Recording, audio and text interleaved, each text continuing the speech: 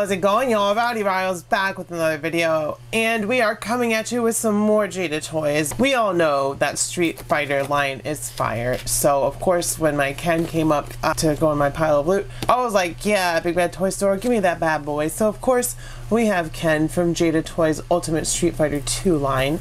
Uh, I did see some prototypes for Cammy and I know Dhalsim and M. Bison are dropping Blanka prototypes. I'm super excited for this line. There's so many cool characters coming. Ken is one of them. So yeah, with all that being said, let's take a closer look at the box and we'll get this bad boy open. As you can see, we have the box here. We've got that health gauge up at the top. We've got the arcade stick down there and Ultra Street Fighter 2, the final challengers. Ken with some pixelized artwork from the game. Warning, small parts, don't stick them in your mouth. On this side, Ultra Street Fighter 2 with some awesome artwork of the figures in that anime style. On the back, once again, Ultra Street Fighter 2, some artwork of the figure. He's got his full health bar in his name. And then we've got all the other characters on the roster down there. Ultra Street Fighter 2, the final challengers. More artwork, Ken, country of origin, USA, fighting style, martial arts rooted in Aksukin, Anatsukin, that's how you say it. But with all of that being said, let's get this bad boy open. I believe the classiest way to do this is to take that tape down from the bottom and then we should be able to just pull the figure right on out of the cardboard without hurting anything. My prediction was correct. Um, there is Ken out of the cardboard. As you can see, we have our Jada Toys Ken out of the box, and he is mostly reused from Ryu as far as the body goes, but we do get different colors and a new head sculpt. So we have that gi with a removable belt and that rubbery, uh, softer plastic, and a nice wash on there, uh, brown gloves instead of uh, red, black belt, red gi, and of course he's got the long blonde mullet, and a nice paint uh, wash on his musculature there, so it looks like he's got some definition as opposed to just being one color. Uh, Jada Toys is really knocking out of the park with this line. These are like high-end figures. Like you, you could charge like forty to fifty dollars for this figure and just add a couple more accessories, and I would still probably justify picking it up just because they're so good, especially for being a domestic toy maker. I mean, just look at this. We have uh, Ryu, we have Chun Li, and now we have Ken.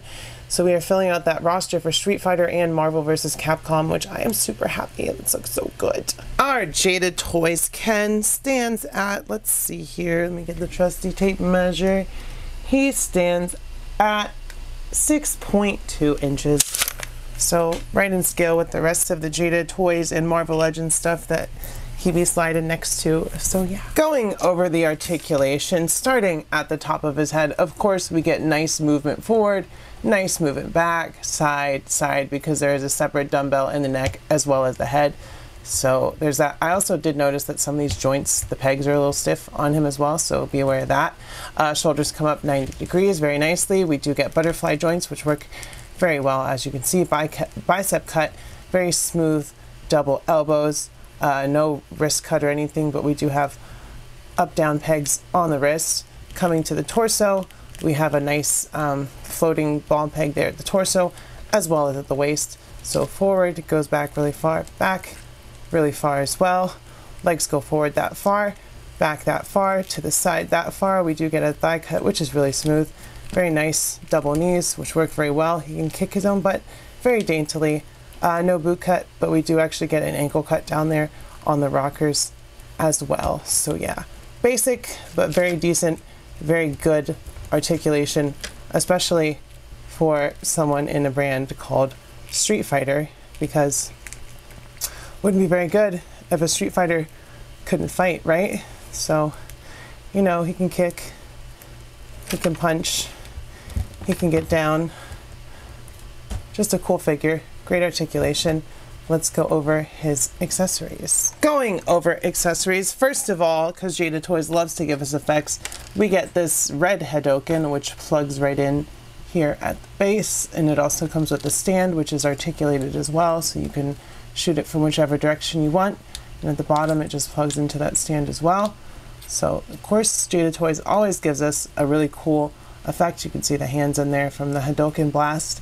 So that's pretty cool. Then we get an alternate head sculpt. He's already got, he's got like a smirking, like, I'm ready to fight you, Ryu face right now. But he also comes with this angry kind of He-Man looking head because of that blonde mullet, uh, which is really nicely painted. And then we get two open Hadouken hands, which once again, reused from Ryu, but painted brown instead of red on the hand guards. So not a whole lot of accessories, but still enough because he's totally awesome. Just look at him. So first up for scale and comparison, here is Ken with his castmates Ryu and Chun-Li. Like I said, Ryu, heavy reuse for Ken. Uh, also from Jada Toys, uh, Chun-Li slightly shorter, which works for me. And yeah, love me some Jada at this point. They're really, really growing on me. For some more uh, Jada toys, here he is with Mega Man in our Universal Monsters Dracula. For some Marvel Legends and uh, Marvel vs. Capcom comparison, here he is with our Renew Your Vows Scarlet Spider and our retro card Spider-Man with the raft head, which is probably the ultimate Marvel vs. Capcom Spider-Man in my opinion as far as looks go. For some G.I. Joe classified series, here he is with Retro Duke and Scarlett. For some Power Rangers Lightning Collection, here's a little bit of Turbo Love. Here he is with our SH Figuarts and our Adventure Series Indiana Jones. Some Black Series with Mando, Grogu, and Bo-Katan Kryze.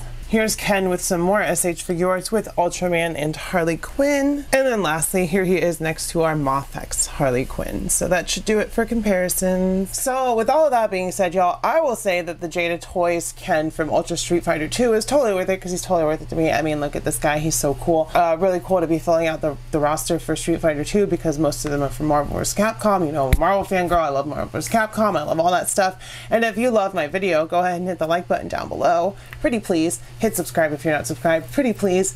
Also, comment down below if you're excited to see more from Jada Toys, if you want to see them do other lines like Mortal Kombat, that would be really sick, or other Capcom lines, whatever. Let me know in the comments down below. Also, check out my Patreon, dollar a month. All the videos for new figures like him go up early on the channel, so do that if you want to. All that stuff. I love you. I will see you next time, and bye-bye.